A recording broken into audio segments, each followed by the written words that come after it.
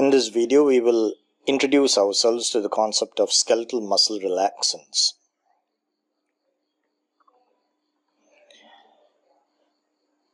Broadly speaking, skeletal muscle relaxants can be classified into centrally acting, peripherally acting, and directly acting.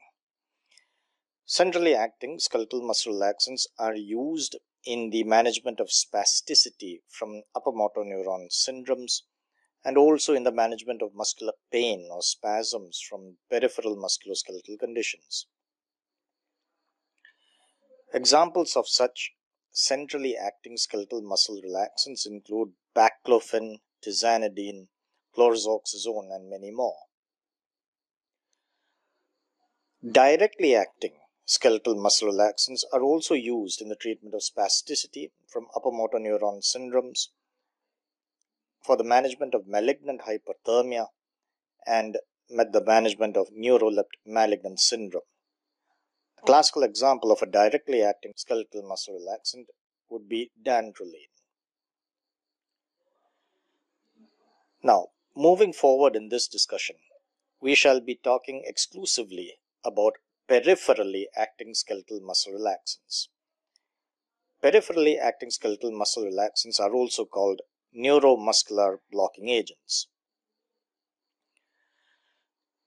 We need to understand very clearly, especially for beginners, that neuromuscular blocking agents are not used for spasticity from upper motor neuron syndromes or for muscular pain or spasms. And if that is true, then what are neuromuscular blocking agents used for?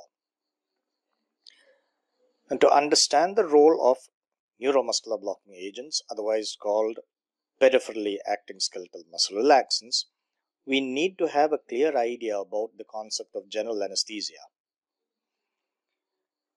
Now, the state of general anesthesia is said to be achieved when five components are present, and they include amnesia, immobility, decrease in autonomic reflexes in response to pain, analgesia, and loss of consciousness.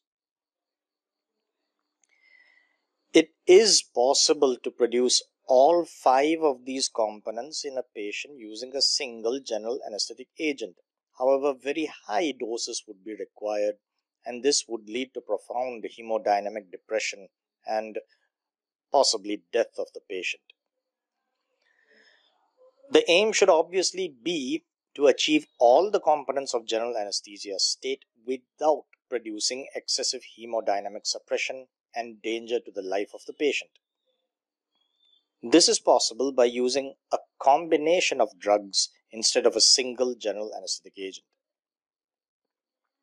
For example, to achieve all five components, we would combine the general anesthetic agent with neuromuscular blocking agents to produce uh, good immobility, with opioid analgesics to produce analgesia, and with other drugs. So, neuromuscular blocking agents are not used for the usual aches and pains of a spasticity or such conditions. These are drugs which are used to produce a state of complete and total immobility. Even the muscles of respiration, including the diaphragm, will stop functioning.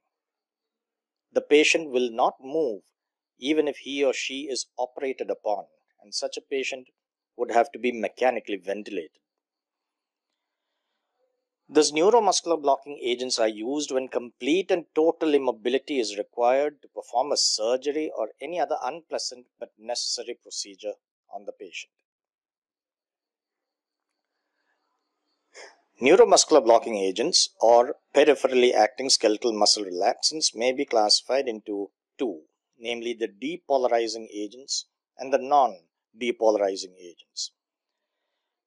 The depolarizing agents are partial agonists of the NM receptors, the nicotinic receptors. There is only one example for a depolarizing agent, and that is succinylcholine, also called scoline or suxamethonium. Non depolarizing agents are antagonists at the NM receptor. They are competitive antagonists of acetylcholine at the NM receptor or in other words they are concentration dependent antagonists of acetylcholine at the NM receptor and there are many examples for this group of drugs.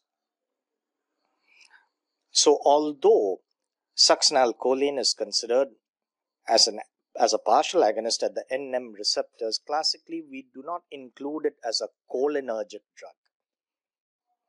It is true that it is an agonist at a, a partial agonist at least at the NM receptor, but we do not speak of it as a cholinergic drug. Similarly, non-depolarizing neuromuscular blocking agents are anticholinergic since they block the effect of acetylcholine at the NM receptors in a competitive manner. So they are anti-nicotinic.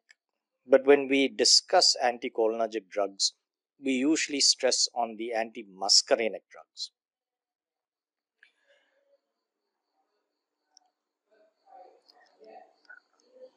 Now, to understand how neuromuscular blocking agents work, we need to understand how excitation contraction coupling occurs in a normal skeletal muscle.